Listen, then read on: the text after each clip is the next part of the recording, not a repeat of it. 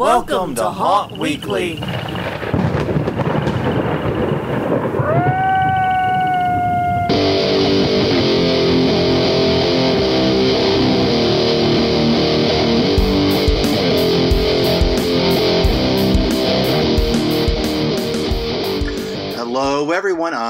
Jonathan, I'm Crystal. and this is Haunt Weekly, a weekly podcast for the haunted attraction and haunted entertainment industry. Whether you're an actor, owner, or just plain aficionado, we aim to be a podcast for you. And we are back once again. It is a Monday, and you have tuned in to us. yes, to waste another perfectly good hour. Yes, of your life. To, to borrow from Click and Clack at Car Yes. Talk. one of our fa- one of our favorite shows. Uh, yes, this episode is 33. We are covering haunt reviews. With recent events in the haunt industry, we got thinking about haunt reviews and haunt review teams. This sparked Right. a few conversations around the house, Yeah. and we decided to turn this into an episode. Yes, So- believe it or not, we talk to each other whenever there's not a mic in front Yes, of us. we, we do. Though it does help to have the mic in front of us sometimes. It does. But yes, we will be doing haunt reviews this week. But first things first, we have some business to conduct. want to start off this week saying thank you to everyone. Yes. Um, the main reason being, you we have put a call out for women in haunting, and you guys have responded in Yes. spades. yes, we have a lot of women to get in touch with. Next week, I'll be making those, um, reaching out to them. yes, want to thank Oh. everyone who sent us a message on Facebook, tweeted at us, whatever, got us the information we needed. We greatly appreciate it. Right, and over at Haunt Topic, they also posted a, uh, thing call, tagging- yep. a call, you know, Yeah, so to let us know where people are at. Yes, and uh, what it's looking like we're, we're shooting to do, I should say, Yeah. is to turn this into a mini series within Haunt Weekly, a recurring thing about women in haunting. This is an issue that we both are very passionate about. Right. Um, how women are involved in haunting, getting them more involved in haunting, and what you know we can do as an industry to really Yes. encourage women at the higher levels of the uh, of our industry. Well, and really at all levels. And because, all I levels, mean, yes, definitely, but Yeah, we we want to start out with the higher levels, but um, but I think it's really important to see how actresses are treated. Also, Oh, so yeah, I mean, because then, then, like I said, the whole reason we got on this was because we were talking to an actress friend of ours yes, who had some atrocious experiences, yes, and we felt this was something that needed to be discussed, and this seemed like a great way to do it. right. So, thank you all for your help and your participation. That contacts will be going out probably as this is going live. Yeah. basically. Um, yeah, Crystal uh, finished up her job. yes, She's getting ready to start a new one in a few weeks. So while she's down, one this will be one of the projects we are tackling together. Right. Sound good? sounds great. Should we do the regularly scheduled programming now? Yes, we should. All right. So you want to start off with the conference reminders? Rock, paper, scissors. Who starts us off? I'll go first. All right. Chicago Frights, July 29th through 31st at Orland Park, Illinois. Giorgio's Quality Inn and Suites, ChicagoFrights.com. Next up after that, we have Haunt Faire. That's Haunt Dash F A I R E. It'll be August 6th through 7th at the Clarion Hotel in Ronkonkoma, New York. Find out more information at Haunt Dash Fair F A I R E. It's that weird spelling of fair. Um, they'll be doing all kinds of neat stuff, including a fashion show, a car show, an art show, and more, and also a haunted bus tour of Long Island. Not a tour of a haunt, but a haunted where you get on a bus and visit spooky locations in Long Island. Should be cool. Right, and then we've got Scare LA, August 6th through 7th, Pasadena Convention Center, ScareLA.com. Elvira will be hosting. Yes. Then we have the Chicago Room Escape Conference. This is a new one on the list, I believe. Yes, it is. New one on the list. August 12th through 14th, put on by the people behind Transworld. It's at roomescapeshow.com. And if you go um, on the 13th, enjoy an extra drink in the after party for me. That will be my birthday. Yes. So please have extra good time on the 13th for me. All right, and then we have Halloween and Haunt Fest, August 27th and 28th. This is at the Arlington Convention Center in Texas. HalloweenandHaunt.com is where to find more information. Don't Um, know if the early bird code still works. It's still in our notes. our notes do not get updated as often as they should. Um, Probably not. I will. I will but- make a note to check that for next week. Yeah. But yeah, and also once again, thanks to Brian Foreman and Haunt Topic for the heads up. Yes. Uh, then we have Mask Fest, September 9th through 11th at the Marriott Indianapolis East, maskfest.com. And as Chris, Crystal so recurringly has pointed out, this is as season is ramping up. Great place to pick up your last minute masks, but try not to pick up any last minute colds or flus while you're there. Yeah. That would really suck. Yes, it would. All right, and then we have the Legendary Haunt Tour, November 11th through 12th. This is just after the Halloween season ends. It's in Pittsburgh. The hotel's still TBA, and it's by the Transworld People also. They'll be visiting Scare House and Hundred Acres Manor, Legendary Haunt Tour with two T's.com. And while you're visiting the Hundred Acres Manor, be sure to ask them about the uh, new attraction they helped build in Dubai. Yes. They will be impressed by your knowledge of our industry that you gleaned from this show. Yeah. Regular listeners. All right. So we already did the thank you. I know I put that in a weird place in the notes. That was me being stupid. But anyways, haunt reviews.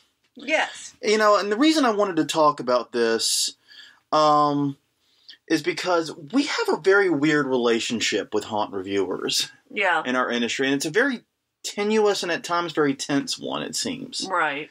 Um, you look at other industries like the film industry and the music industry and so forth. There's a very very rigid divide between reviewer and artist, so to speak. Right.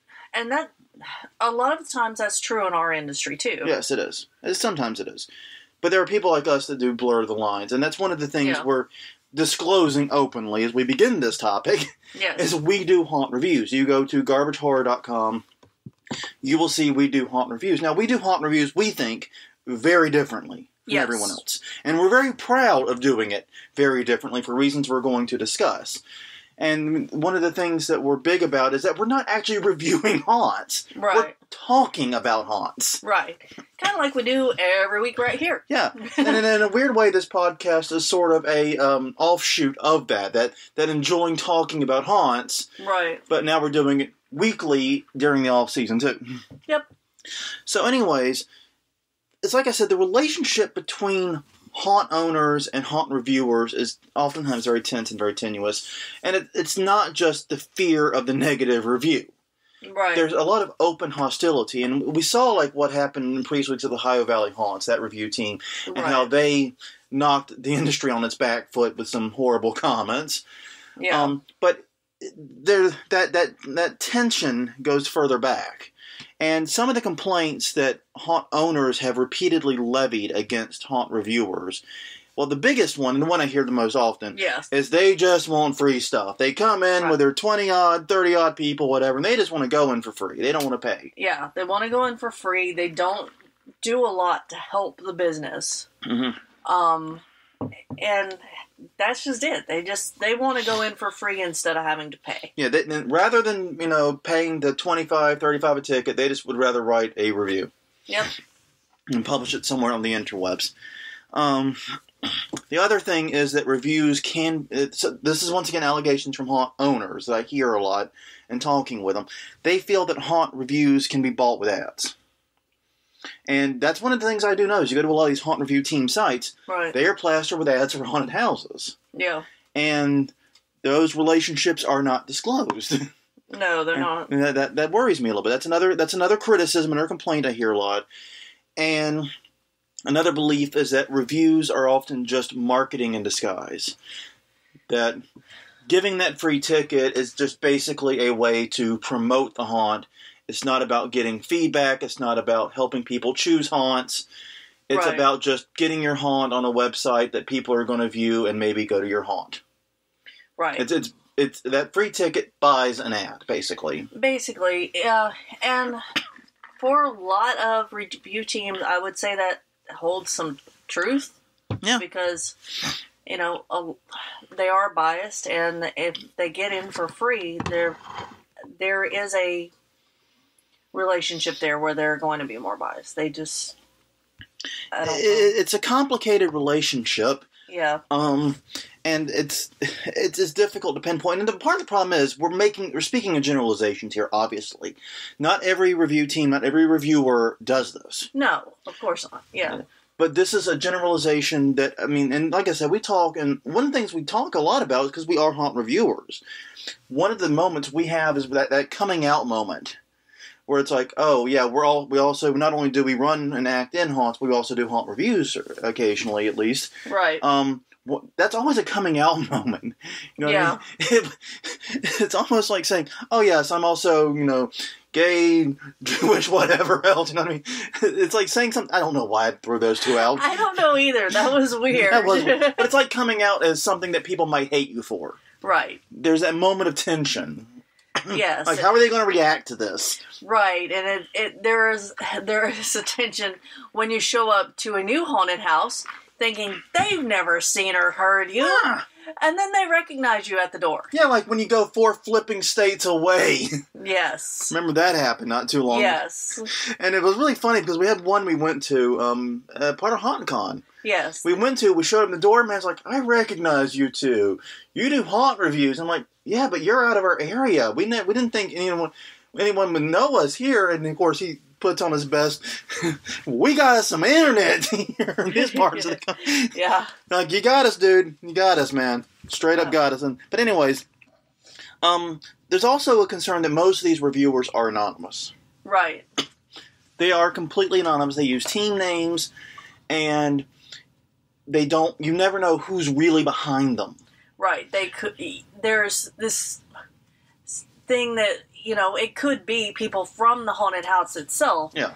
Putting out positive reviews to get more customers to the door. Or the whole marketing thing could be a marketing firm. You don't know who it is. Exactly.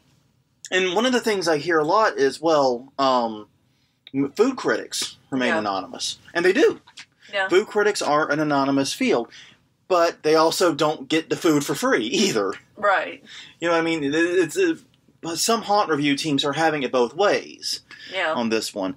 Um, they all, but another complaint I hear repeatedly is that reviewers do not understand haunting. Yeah, and that goes back to something you touched on earlier is that a lot of the reviewers and the industry industry are there's just a big gap there in knowledge. And not a lot of haunters do reviews and it's because, you know, the seasons overlap. Yes, You can't own a full-time haunted house and be a reviewer. that is correct.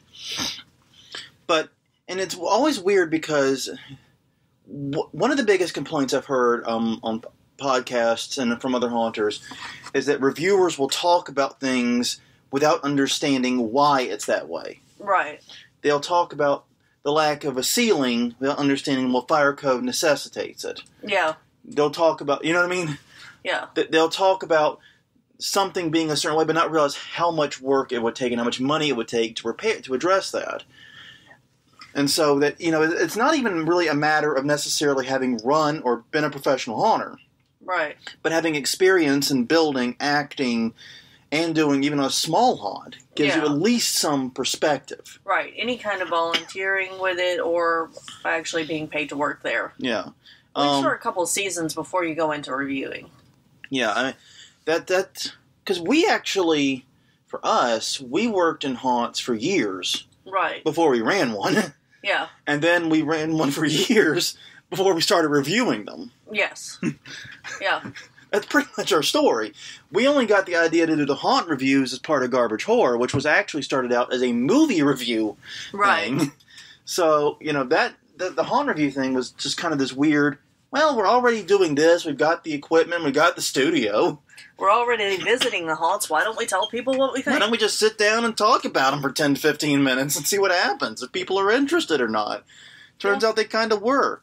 Um, and, and all this comes around to the fact that I. This is my personal opinion, and I admit that. But I don't like the way we do, typically do, reviews in our industry, okay. personally. Um, and you may disagree, Crystal. You're, you're perfectly allowed to. Yeah. That's that's the point of this podcast. But it seems to me that other industries, whether it's film, whether it's um, food reviews, everything else, has moved way, way past where we are on on reviews. They have much more advanced, much better, and more inform- informative review systems than we do. And I just like I said, I think we have a horribly out of date review style. Uh, one thing I find on review site after review site after review site is incredibly vague numbering systems. Yeah, because there's no way to know what those numbers mean. What does a nine in special effects mean? What does an eight in acting mean? I mean, I guess it's better than a seven and worse than a nine, but what does it mean? What does it tell me? Right. And you have no idea how high their scale goes usually. Well, yeah. well, even if you do have an idea You of the scale go, it doesn't help. Well, not only that, but if you're listening to two or looking at two different review sites for the same haunted house, and one uses a one to five and one uses a one to ten, uh, is a five the same as an eight or a nine? You know? Yeah, it, it, it gets really, really confusing, and even within the same site, it doesn't mean much. Right. I mean, okay, you say special effects are an eight on, on for a haunt. right. Okay, well, do they use a lot of digital effects? Are they practical effects? Right. Or what? What effects? Yes. I mean, it, it's really bizarre to me because I see these reviews and it's like just it's like baseball stats about a haunt, and it means nothing to me. Right. I mean, is this you know is, is this haunt exceptionally gory? Is this haunt got really talented athletic actors that will jump out and do incredible things? Are they very you know thespian actors that are very very good at convincing you and selling their role? You know, the makeup is it genuinely you know like really really good special effects makeup? Do they have really good masks? Are they in great costumes? You know, there's multiple ways you can make a good haunt. Right. And so, you know, make up six, make up eight. What does it mean? It means absolutely nothing Yeah. because, you know, one of the creepiest areas in a haunt I've been in had no makeup. Everyone just wore the same masks. It was like something out of the purge. Yeah. You know what I mean? It was really unsettling on a very deep, fundamental level. That does do they get a makeup zero? You know, yeah. You see what I'm saying? Yeah, I do. Uh, These numbers are utterly and completely meaningless. Even the total, the final tally. What is it out of you know ten or a thousand? When one there's one that uses it out of a thousand. Oh I wow. found there's a couple that I think there was one. No, I know there was a couple one that used out of a hundred. I think there was one that used out of a thousand. But the other issue with these numbers is score inflation. And now, if you're not familiar with score inflation, what is half of ten, Crystal? Five. This is this is not a difficult math question. So theoretically, if you have a one to ten scale, correct, Right. five would be the exact mathematical average, Yes. right? Then I visited for as research for this about half a dozen different haunt review sites and clicked at least 12 reviews on each or so, just sort of going through things, right? I did not see a single review lower than a 6.9. Wow. Think about that. That's. they should just go to a one to five system then. Um. That's what the, Yeah. That that doesn't make any sense. none of these that's just it i mean under our current system 8 is bad 9 is okay 10 is good there's no delineation there Right. and so not only are the numbers meaningless in terms of they carry no impact you know they're not describing anything that's effective to me and making me making a decision about going to a haunt there's no delineation right. when your scale literally starts at a six point basically a seven yeah. and goes to a 10, there's no delineation. When 7 is one Well- star now, Yeah. Well, and people reading the review aren't going to know that a seven's bad. If it's seven out of ten, they only click that one think- review, especially. Yeah, I'm going to think not that it's comparing pretty it. good. Yeah. It's at least reasonable. It's at least mediocre. Yeah. It's better than average. Yes. Exactly. I mean, in score inflation, this is a problem that every review industry has had, by the way. Right. The worst right now is video game reviews. they have had this problem for a long time and have not actually really cracked it in any Yeah. meaningful way. I admit this. So we're not alone on this one, guys. But score inflation is a big, big deal because basically what it means is your 1 to 10 scale, your 1 to 100 scale, whatever, essentially becomes a 7 to 10 scale. And everything's got to be put on it. And it's weird because there was one I went to where no haunt had lower than a 9 out of 10. Yeah, they're they're just making up numbers. and it's like 9.0 to 10.0 was the scale. Oh, and they put in the decimals. Yeah, they put in decimals. Wow. Yeah, that's not useful at all. At that point, it should just be one to ten. yeah. And I, I mean, I get it, and I get the challenge here because even like mediocre haunts, I enjoy. Mhm. So I don't want to say horrible things about. You know, unless the haunt is actively terrible and does something like try to kill me, Yeah. which we've had happen. yeah. Um, the haunts, I, I do my, I, you know what I mean. Even a haunt that maybe isn't as good can still be a lot of fun. It's, I mean, haunts are kind of like ice cream in that regard. right. I enjoy it even when it's not necessarily the best. But if we're going to have reviews that have meaning and have impact and use to the readers, and you're going to use a numbering system, if you insist upon using a numbering system, that numbering system has to mean something. Right. And right now, between the vagueness of the numbers and the, the score inflation problem, it means absolutely nothing. It's just baseball stats. Don't tell you anything about the player. Um, most haunt reviews. Now, I would be cool with all this, by the way, if there was really good, really in depth discussion about the haunt with most of these reviews. Right. But there rarely is. Yeah. There are a few that do this. There are a few that have really good, like thousand word reviews of a haunt, and really do actually write out what they're thinking, and that that is cool. But most is like a blurb, a streak of numbers, and there you go. Yeah. And that's it, it's meaningless. Yeah. There's, That- there- that doesn't help anybody but them get in for a free show. yeah, and that I understand why a lot of haunts are skeptical, especially considering that a lot of these teams do show up with a lot of people. Right. Um, so it can be very, very frustrating. And yeah, it's like I said, if I'm a haunt consumer, which is supposedly the ideal audience for a haunt review, you know what I mean? There's just not enough information here to make an informed decision. Yeah. I mean, there just isn't. No. I can click these reviews all day and have no better of an idea. I'm just going to walk away with the impression all the haunts in the area are good and I should just pick one. Yeah, I mean that's basically what that numbering system does. Um, especially when people are, you know, using the nine to ten scale instead of.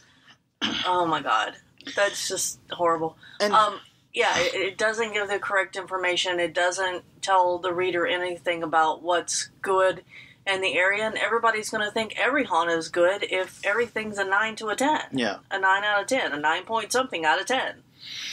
it, it completely defeats the purpose of it completely defeats the purpose of a review Yes. if it does nothing to weed out bad actors if it does nothing to you know what i mean Right. to, to address these issues and right now that's what we've got we've got a scale where people are doing these haunt reviews they're going in and then what they're putting online is of no value to almost anyone and i think a lot of these groups mean well they're they're trying to do something good they're trying to do something helpful Right. but and that's, and that's just it. I, I, I- as a haunt reviewer, I don't think there's a lot of bad faith here.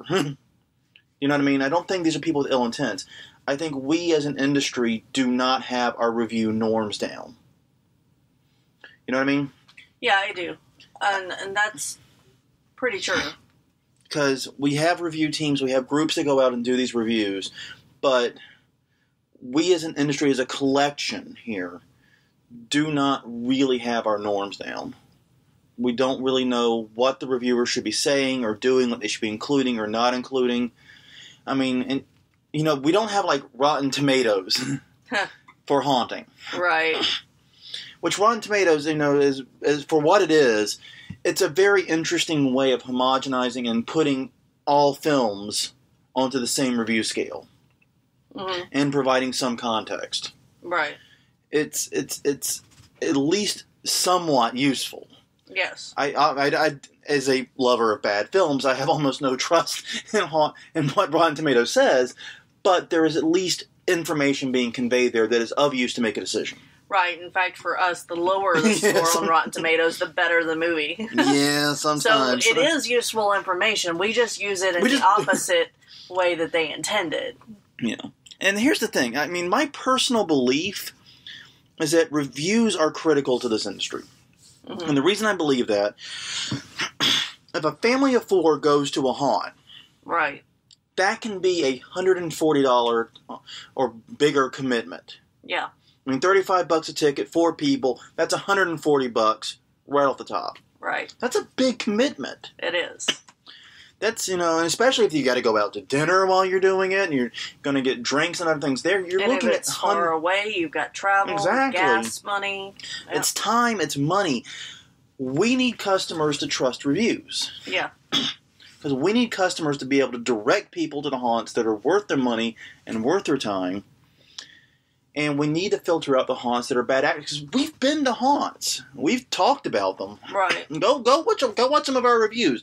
Uh, go watch like Revelation Beulah Fun Park. Yeah. We talk about some of these haunts that are clearly bad actors, Yeah. either through malice, lack of care, or lack of tactical preparation. Right. Put up terrible haunts, Yeah. just objectively terrible haunts. They don't get consistently called out with this system. Right. Yeah, they don't. Um, because if everything's scored highly, then nothing can be bad. Yeah, if there's all scored highly and there's no real conversation taking place, Right.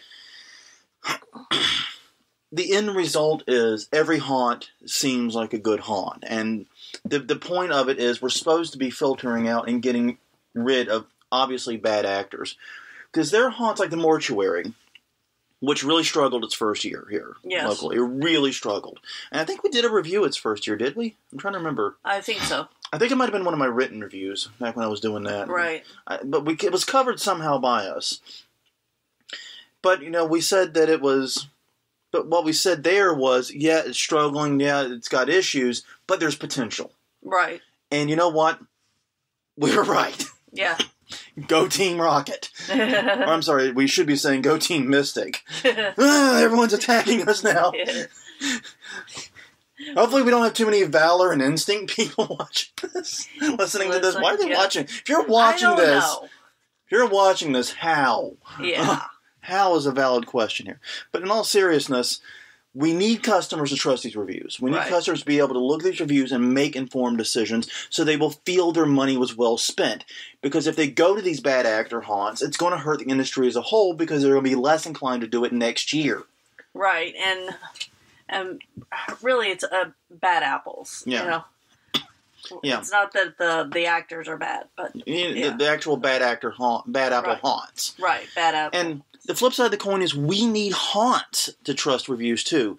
Because one of the things, and I get this, okay, as someone that's worked front of house, yeah. someone who's done this, getting honest feedback is one of the hardest things for haunters. It is, and I love honest feedback because yes.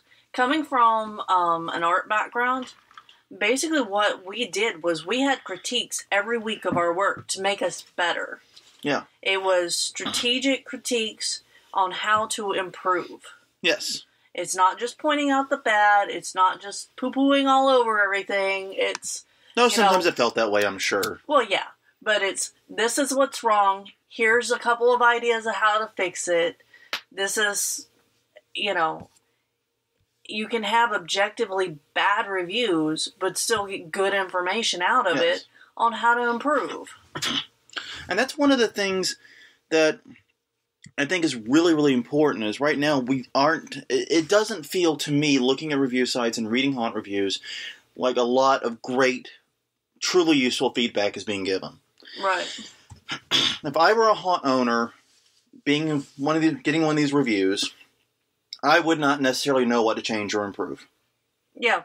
Yeah, because I mean, okay, so you got four I got- stars out of five on everything. And I got an eight on makeup. yeah. Thanks. where do I where do I go with this information? Right. What do you do? I, I got a nine on effects, an eight on makeup, and set design was a ten. I mean, what? Well, yeah, and it's it's like with new employees, whenever they go for their um, First evaluation. first evaluation, rarely will the new employee get all high marks on everything. Yes. And even if it's fake lower marks, it's because they want them to know that there's room for improvement. Yes. Now, And, and the flip side of this, in addition to the feedback, though, is that positive reviews obviously can drive crowds. Correct. But that's only if the positive review means something. Yes. If everybody gets a positive review, then there are no positive reviews. Right. They're all just mediocre. They're all just getting the same treatment, and then no one's gaining anything from this. There's no feedback being given.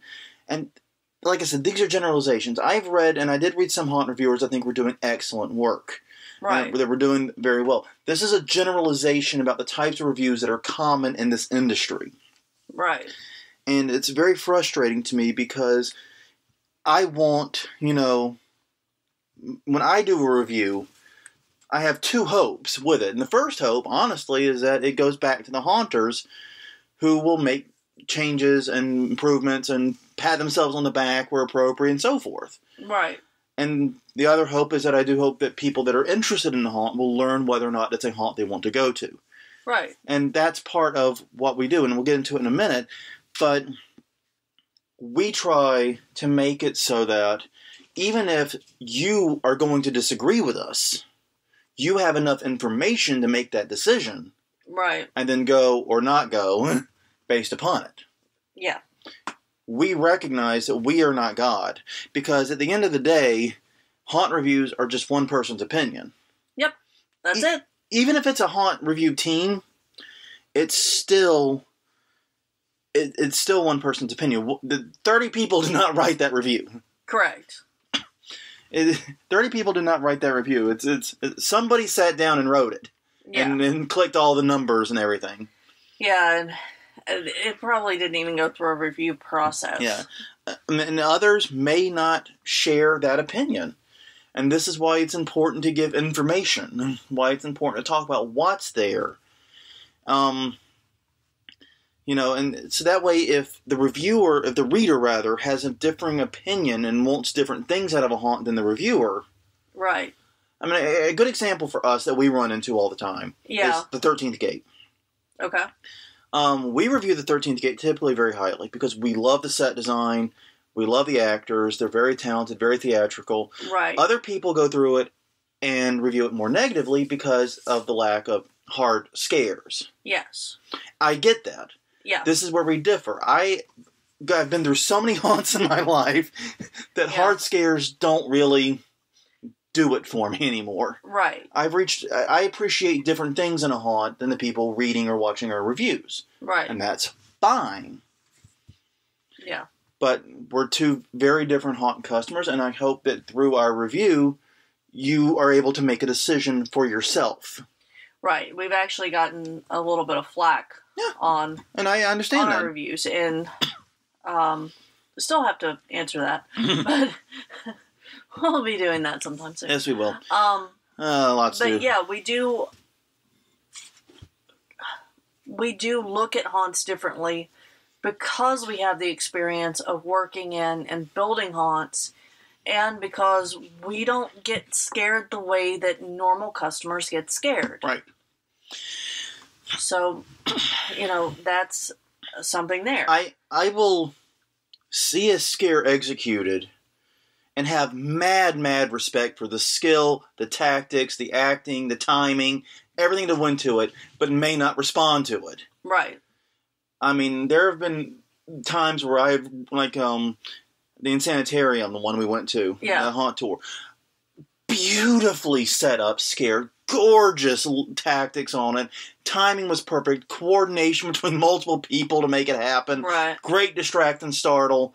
Beautiful, beautiful. It didn't make me like jump or scream or anything, but I just I, I stood there and I clapped. I remember clapping in the middle of this haunt and how great that was executed. Yeah. Um. So, yeah, but mean, it's important. This is why it's important to know for the reader reviewer where the reviewer is speaking from Yes. because you have to know that reviewer and what they like and what they're looking for so you can make that decision. Right. Like one of the things we don't like and we talk about all the time not liking, we're very transparent with it, is chainsaws. Yes. We just we don't get it. We're not scared of them. I, Too many decades on Yeah. haunts, I think, is the problem. it seems like it's at almost every haunt we go to, and I, And then look, I understand they have their place. I'm not totally knocking it, right, but there are some haunts that do have an extreme over reliance on them. right. So, and then it's just frustrating for you know a lot of the pe- for the actors who are the chainsaw person. yeah, You know, it's usually a coveted role, and if you've got people not responding to it, it's aggravating. yeah, I agree. So now, now we're coming to our reviews a little bit here, and I want to talk about us because we do try to be different. I don't know how well we succeed, Yeah, but we try. right. The first way we're different is we are haunters. Yes. That's plain and simple. We have worked and operated haunted attractions. Yep. We we're not pro haunters, No. so that's no conflict of interest. But we have built haunts. Yes. We have worked in haunts. Yes. We have been doing this for over ten years now, Right. and we are very familiar with the limitations, the challenges, and the problems that are faced. Correct. In fact, you know, we do what we do on such a tight budget. You know, we're very familiar with the budgetary limits and the need for creativity and the various issues that haunts run into. We get this. And that actually, I think, helps us in trying to relay useful feedback to the haunt owners right. and the people making it because, you know, because yes, we don't know all the challenges a specific haunt faced, but we're not going to sit there and criticize endlessly the lack of a roof in a section. no. Instead, you know, we're going to say maybe they could do more to obstruct the sight line Right. to make it less obvious. Right. Or make it darker up there so there aren't so many Right. light. Use leaks. light techniques and so forth, or Yeah. you know, there there are ways to deal with it. Yeah, we we do get a, a little bit technical in our Yeah. reviews because we look for actor runs. If your actor runs look like a way that I can go instead of an actor run, Mm-hmm. that's a problem. If they're very obvious, it's a problem. Yeah. You know, I see it as an issue anyway. That is a problem we've run into repeatedly in haunts, even some very good ones actually. Right.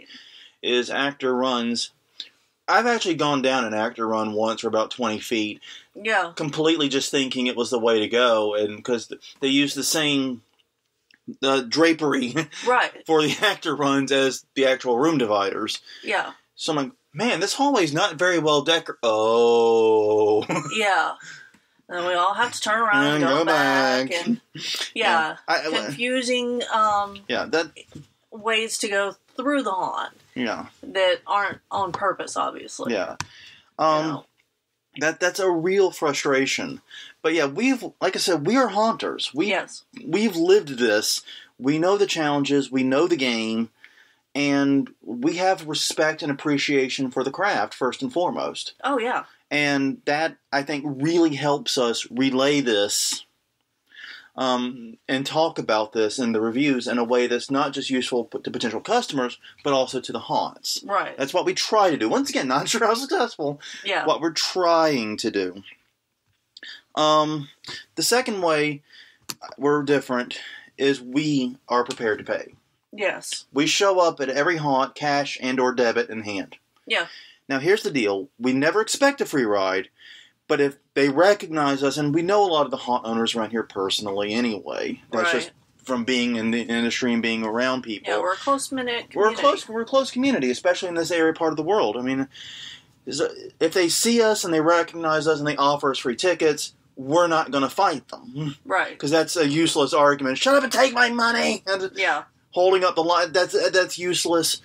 We take the ticket, but then we disclose it in the review. Yes. And we let them know whenever we take a free ticket that we are going to disclose it. Mhm. Um, we, I think we only have one haunt right now that we've actually taken them up on it. One more was offered, but we didn't get a chance to get by. So Yeah, we Um, well we've gotten a few free tickets at various haunts over the years, but we still Yeah. pay for the vast majority. right. And the other thing is, is that you know if we get a free ticket, we really love you. We're going to bring people back and pay Yeah. the second time. Yeah, it's So yeah, but yeah, we we are always prepared to pay. Well, it's not only that, but like the the other thing that we do is if we do get a free ticket, we, then we spend more money at your merch tables. Yeah, we will try to find ways to give you money anyway. yes, we make a valiant effort to yes, spend unless money. you're actually you know just not trying at all, you're we're going to contribute because that's part of being a haunter. Yeah. and a reviewer is that we want to contribute to Yes. your business. Yeah, this that that is, and I guess that's part of the mentality that we have is we look at ourselves, even though we are reviewers, as part of the community, Yeah, and part of that is contributing and not trying to siphon anything off of it, not trying to you know to always be paying your dues as you go through right. every step of the way. I'm perfectly fine if they want to offer a free ticket, like I said, but we will disclose it. But the flip side of the coin is, I'm never going to demand it in exchange for a review, Oh no. which is what some, and like I said, this is me talking to other haunters. Some have said haunt review teams and haunt reviewers will do, Yeah. and that that's not how this rolls with us. No, and it's not acceptable for reviewers to demand that. No, I, I agree with that, If or to request up- it. Yeah, Yeah, if you show up and a reviewer does that, send them home because Well- you don't want their you know, their review anyway. Well, another thing that we uh, don't do is we don't accept ads. Now, technically, that's not true. We don't control ads. We don't sell ads. We um, do run ads on the YouTube videos we post, but right, YouTube sells those, not us. right. we, can't have zero those. control over that. So there's no way to say, you know, we'll buy an ad on your videos. Yeah. that doesn't work. We have zero control over who advertises on our videos. Right. There are ads, but they're not ours, basically. Yeah. And judging from the pennies I get from them, I'm not getting any money anyway. Yeah. So- no kidding. So yeah, we we, we don't accept, we don't sell ads, we don't offer them, and so there's literally no way to buy a greater presence on our site or in our videos. No. I mean, your presence at the end of the day will be determined by when we show up for your haunt because it's in reverse chronological order.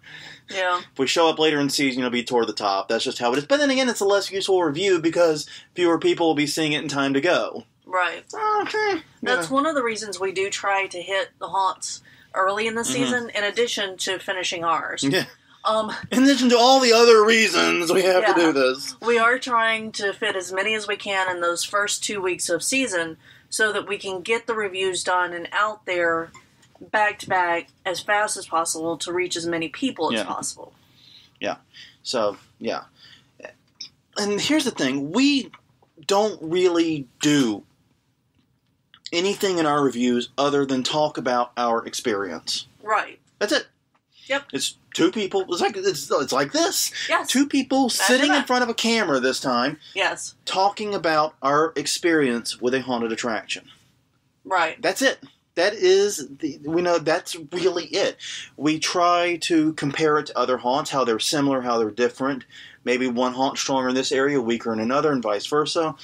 We try to give a frame of reference. We try to talk about what we enjoy. Like I said, the chainsaw thing keeps coming up. Right. Um, but we also try to point out where other people might think or feel differently. For example, if you want a family friendly haunt, maybe this one, even if it wasn't our favorite, Right. maybe this is where you should go.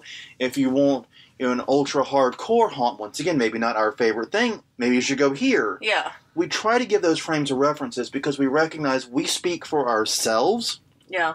but nobody else. And we want to make sure that the information we give, because when I say, okay, this haunt is like, you know, the House of Shock, but different in these ways. Yeah. Well, if you've been to the House of Shock, you have a frame of reference, and you can think about, well, would I enjoy the House of Shock with these things? Right. And that lets you put it in that mindset and lets you make the judgment, which is what I want.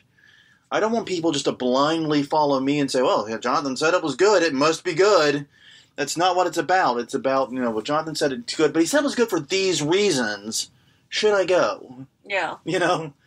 What do I think? I want people to think for themselves, not listen to me. Right. And we do give information that is useful to customers. You know, at least we try. Mm-hmm. Something like that that they can form the frame of reference for. But we also do go into the technicalities of the haunt build Yes. so that we are giving something to the owners. Yes. We try to do both, yes. You know, because uh, at the end of the day, it's this is it to me. We don't assume we're right. No. I don't. In fact, I know I'm not right. I'm just Yeah. throwing that. I, when it comes to the reviews, I'm a big fat stinking idiot a lot of the times, and I admit it. I live with you. I'm used to admitting I'm a big fat, big fat stinking idiot a lot. Oh God. But you know, I I admit this. I admit this openly. So my goal is not to, to pretend I'm right. I'm not some grand expert. I'm not the judge, jury, and executioner of haunted attractions. I'm just a guy who had an experience and wanted to share it. Right. That's it. Yeah. And um, one note that is um, an- another interesting point is we are not anonymous. Nope. We're in front of a camera. You know us. I'm Jonathan. Yeah. I'm Crystal. and so you know who we are. You've seen, you can see our faces trivially online. You, You see can us find- at conventions. You can find us, you know, garbage horror. You can find our haunt. You can find everything about us. Yes, you know where we live. You know Maybe where- that's not a good thing. That's not a good way to put that. But you know all this stuff. We're not hiding behind any shroud of anonymity. right. And part of the reason for that is because, and this is one of the other issues I have with um, an, anonymous reviews, is because it can be different people each review. So if one guy goes and reviews a haunt, and another guy goes and reviews a haunt, even if they have the same name, they're going to have very different ways of looking at it because they're different people. Right. I have the same eyes as me. Yes. Wow, that sounded like Murdock from A Team. We've Yeah. been watching a little A Team lately. so that the more A Team references slip out, but you know that's just it. My eyes are going to stay in my head, so therefore every haunt I review will be seen through the same eyes. That's not necessarily true of anonymous reviewers. Not saying it Right. isn't true. right. Some haunt reviewers do keep, and some reviewers in general do just use a pseudonym, and it's the same person. yeah. But with all these review teams, it can be very unclear if it's the same person or the same group of people or whatever visiting. Right. So you can't do direct comparisons a lot of times. Yeah, that's very true. That's a good point. Um, so here's the thing: I think we, as an industry, do need to fix these issues Yeah. that we have. And the main thing we need, and this is going to be very difficult to do, I admit, is we need greater transparency. Yeah. We need full disclosure of free tickets. Mm-hmm. And this is for the reviewers, by the way. Full Yeah. disclosures of free tickets, full disclosures of paid ads, any potential conflict of interest. Right. Are you first brothers, cousins, uncles, nephews, former roommate with, Yeah. with the owner of the haunt? No, ex ex girlfriend or boyfriend. You know, exactly. Is there some conflict of interest there that may make you, you know, more biased against or for it? right. There needs to be a, a constructive way to disclose that. Uh, But it, even if we don't disclose all of it, like I said, we are a tight knit community, and if I had to disclose every time I reviewed a haunt someone I was friends with, at least to some degree, Right. it would be impossible. yes. ah, yes, we know them too. Yes, Yeah. they're, they're great people. Yeah. He does great barbecue. I mean, it's, Yeah. it's gonna be it's gonna be a long list, but Yeah. But the the problem but we do need to at least disclose the free tickets and the ads. right. We need to do that because those are financial conflicts of interest. Exactly. and those are some of the most difficult ones to weed out. And this is once again this this is my personal opinion. I admit it, but I think we need to get away from the the baseball stats and the meaningless numbers on these reviews, especially if we can't tackle score inflation. Right. It just doesn't make any sense. It, it, it's not useful information. We need to focus on reviews that are useful and convey experiences and let readers judge if that's an experience they want. Yeah. And you can, and for the record, and this is something I know some people might be wondering, you can d- share experiences without spoilers. Yeah. That's very possible. You have to be Right. mindful, but you can do it. Yeah, that is something that we do avoid Yes. as we do not talk about your new big scare. We don't talk about any spoilers. We, we, Um, we try to be very careful about that. We're careful about that and we generalize. Yeah. A lot. We speak, we, and and sometimes that can, there's can be a bit of tension there between those two, I admit. Yes, because But- sometimes there's something really, really cool and I want to tell you all about it, but I can't. I just have to tell you there's something really, really cool and you should go see it for yourself. and keep it vague, like there's some really cool animatronics yeah. that you'll be seeing. Uh, there's a really cool room. we won't talk about the giant flipping dragon that like comes down from the ceiling. Yeah. You know, we'll talk instead of in general about animatronics and things like that. That's what we try to do. Um, our reviews are totally unscripted, by the way. We have like zero Yeah. script. It's just us. Kind of like this podcast. it's kind of this podcast. Yeah, we, we have, have, bullet points. bullet here, but points, and that's about it. Yeah. Um. we don't even have that for the reviews, though. Yeah, and and one thing I think that we should be doing as an industry is trying to make reviews fun. Yes, please Fun. act like you enjoyed the haunt when you went. I, I then that was one of the things I realized as I was doing the research for this and visiting all these haunt reviews. Right, Mhm. I'm reading reviews for haunted attractions. Right. Right. Why do I feel like I'm playing fantasy football? or you know, and if you like fantasy football, that's not a criticism, but you know what I mean. yeah, It, it's it did not feel like I was reading reviews for haunted houses. It other than like you know the horror tropes and the black backgrounds on the websites and so Yeah. forth. There was nothing that screamed haunted attraction, nothing that screamed fun or excitement and all this. right, It screamed algebra, yeah, and I hated algebra. I got a five on the calculus AP test, and I dumped all my math knowledge immediately. I can barely add, okay? oh, that's not true. But you know what I mean? It, it- Yeah. It's like it- nothing screamed excitement or fun or intrigue. It was all Right, num. It was all a wall of text and numbers that were not necessarily particularly useful. It was frustrating. It, yeah, I can I can see the frustration in you. They can't, unfortunately, but hopefully they can hear it in your voice. hopefully, um, ah, yeah, because I mean, at the end of the day, we are an entertainment industry, yes. and so the reviews should be entertaining. you know, there's uh, here in New Orleans, there's this um, food critic, the anonymous food critic's his name. He's on one of the uh, stations. I can't remember which one it is for the life of me. Okay, But um, he does this thing where he goes on camera, but he's like blacked out. right, But he's talking and he's got the voice distortion, like his deep throat or something. yeah, and he's talking about these restaurants in the city. And the thing is, this you hear and you feel the passion from him right, and it's like the intrigue of who he is, and it's exciting to watch his reviews. And you can make reading, you know, written reviews exciting too. but- right, you know, if we if we want to do numbers, do numbers. But just remember, we need to keep the excitement going too. Somehow, we need a way to keep that energy up, because this is an entertainment industry, and by God, you know, Siskel and Ebert did not become famous for movie reviews just because they gave accurate, great movie reviews. right. They were entertaining as hell to watch. Yeah, they wouldn't have been on TV with their reviews. They wouldn't have been syndicated newspaper columnists of the reviews. Right. You know what I mean? Yeah, they wouldn't have gotten the fame that they got if they hadn't been They, entertaining. they were exciting and interesting, and we need to do that. yeah, Uh, we I don't think that's our place, but man, we could use our own Siskel and Ebert in this industry.